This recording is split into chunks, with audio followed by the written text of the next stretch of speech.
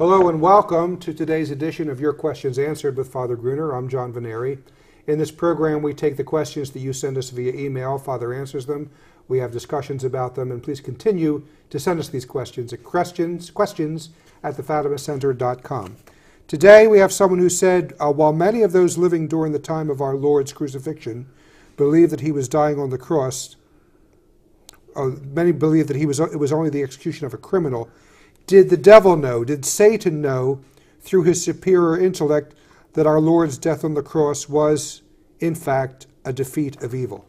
Well, first of all, I think that a lot of people take those women on the way to the crucifixion who were weeping for him. And uh, I think there's other people that knew that it wasn't, but it was certainly exteriorly carried out as if it was the crucifixion. But even Pilate himself said, I'll wash my hands uh, of, the, of this. Uh, so he was, Pilate himself, his judge who sent him, said he's not guilty. So, I mean, and that was done before the crowd. But of course, there's the willful ignorance and the willful hatred of these people to call for it. And some of them were converted after Pentecost. But all the point is that, so many of them, if not all of them, had to know that it wasn't the, the just the execution of a criminal who deserved his fate. So, and, and, and a number of them acknowledge that. Uh, so, I'd like to discuss that first of all. Did Satan know that his death was defeat of evil? He certainly learned after the fact what what happened. I mean, so he, so did he learn by spirit? He learned certainly by being a, a, a, spirit and living in the spiritual world. He would he would learn that. Now, did he learn that before uh, the the crucifixion or during the I, I think I think the unwritten question here is if the devil knew that by our Lord's crucifixion that his his kingdom, his evil kingdom would be overthrown, then why would he incite the crowd and why would he incite the Pharisees? to crucify our Lord. So the the implication is is that the devil didn't fully know. Well, I think the implication is, is two things. First of all, uh, he uh, when did he come to the realization? Was it when? I mean, why would he put it into the heart of Judas, as it says in Scripture, to uh, betray Christ? You know, and uh, and then why would he incite these? So he didn't know that it was the overthrowing of his kingdom at the moment they did these things, but he came to realize it certainly by the death of Christ because all sorts of things happened even in his world. Among other things, he saw the dead rising and going through Jerusalem. I mean, these things didn't happen for no reason at all. And, and he could certainly figure it out by then. But at some point, uh, he, he, he, uh, two things. One, first of all, although he's, he's very intelligent, not to take anything away from him, he's also, he's also blinded by his, his jealousy and his mm-hmm. hatred of God and his hatred of man, for that matter. And here's a I mean, Christ is more than a man, but he is a man. He's a good man, and for him to be able to, you know, have this this uh, this terrible chastisement, punishment on him, he, he for his because of his hatred of man, he'd love to do that if he can get away with it, and God allowed him to do it for our. So, uh, he came to that realization too late, but he but he certainly didn't, he didn't he wouldn't have done that. Would he have done it?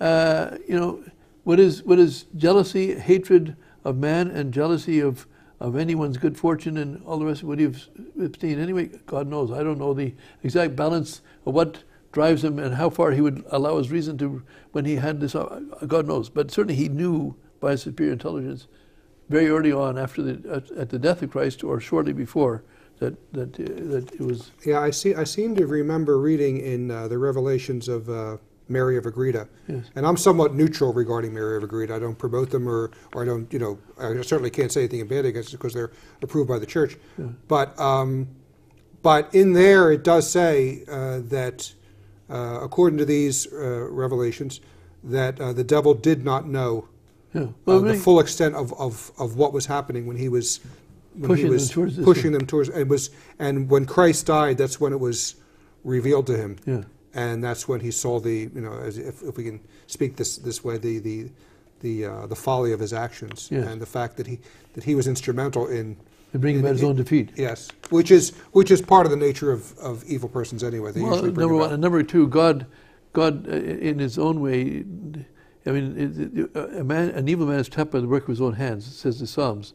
And a man, a pit that he digs to trap his enemies, the one that he, he himself falls into.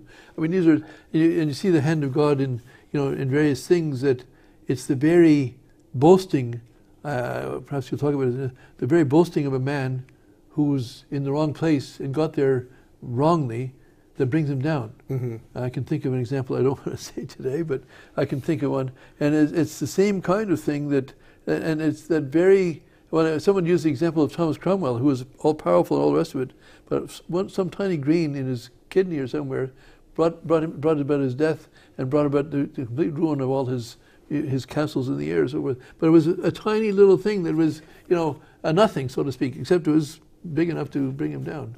Know, that's the kind of thing. So God uses uh, these kind of things, and so the defeat of the devil, uh, God, God likes to do these kind of things. His, it was his own cunning and intelligence that, that destroyed him. Well, we have that in the Magnificat too, Yeah. that he is. uh, Put down the mighty from their thrones. put down the mighty from their and, thrones and, and, and exalted the lowly. And, and that's that's exactly the devil is the mightiest from the thrones, and he's and God puts him down, and, certainly, even a great cost to himself for love of us. Which is, So uh, I think uh, I think we've covered that, and uh, of course we thank we thank our Lord every day for. I remember an, an old um, an old Eastern Rite priest I met. His name was Father Holy, but it wasn't spelled holy like the Holy Sacrament. It was there was a W in there, and I think an extra L. But he said something wonderful, and I never forgot. He was like a, he was I must he must have been in his early 80s when I met him, and he was like a little child. He said, "I, I thank God every day for my baptism." Yeah. I thank God every day for my baptism. And these are basic things that we're talking about the redemption and, Yeah. and the death on the cross. And I'm reminded of Father Holy saying you know, to thank God every day for these things. yes, absolutely, yes. So, anyway, that is, uh, that is all for today's program. And we will see you on the next episode. Thank you.